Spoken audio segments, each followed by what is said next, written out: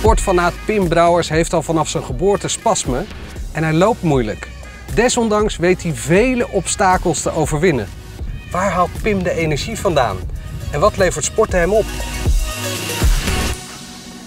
Pim, volgens mij ben je er helemaal klaar voor. Zeker, helemaal. Wat gaan we precies doen? We gaan obstakels overwinnen vandaag. Obstakels overwinnen. Als wij samen als buddy gaan lopen, dan eh, ga jij een van de slings meetrekken. Voor het geval dat uh, Pim niet kan omvallen. Obstakels overwinnen doen we namelijk samen. Nou, let's go!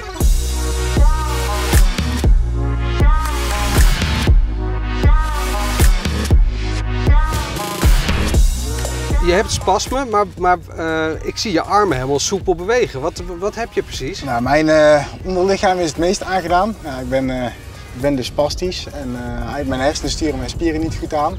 En daardoor gaat het minder soepel. Het gaat allemaal iets minder soepel inderdaad. Oh, wow! Boomstronken. En ik kan tegen een stootje, dus Ja, dat was dus deze boomstrom. Ja, dat maakt niet uit. maakt niet uit. Heel veel plezier onderweg hoor. Maar waar haal je nou de energie vandaan om dit, om dit te doen? Ja, ik vind dat je altijd je grenzen moet verleggen en moet kijken hoe ver je kan komen. Ja. En ik vind het ook belangrijk om aan andere mensen met een handicap juist te laten zien van je kan wel een handicap hebben, maar er is echt nog van alles mogelijk. En je kan echt nog wel een manier vinden om je grenzen te- op te zoeken en die uiteindelijk ook te verleggen. Voel jij je dan nooit bezwaard dat je denkt van ja, ik wil dat obstacle run doen, maar eh, dan heb je wel vier man om je heen nodig omdat jij wil rennen. Ja, maar ik voel me daar eigenlijk nooit bezwaard in, omdat ik ook weet dat die, ja, dat die buddies van mij die vinden het ook echt leuk om mee te gaan. Deze niet toch? Deze zeker. Shit, hè. Ik moet even gas geven.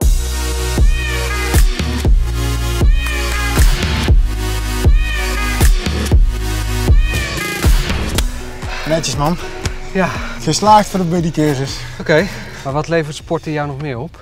Eh, ja, naast dat je gewoon veel plezier hebt met vrienden en dergelijke, is het voor je fysieke gesteldheid ook eh, beter. Het hele simpele dingen. Eh nou kan ik eh, mijn rolstoel zelf in de auto leggen en eh, naar de bestuurders toe lopen. Doordat ik veel train en veel sport, kan ik het kleine stukje naar de supermarkt gewoon lopen en kan ik gewoon boodschappen doen. Ik denk dat jij echt wel een inspirator bent voor mensen.